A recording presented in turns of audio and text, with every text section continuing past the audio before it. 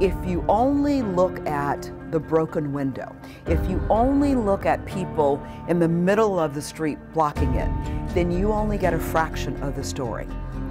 You have to look at what happened before and show how we are connected.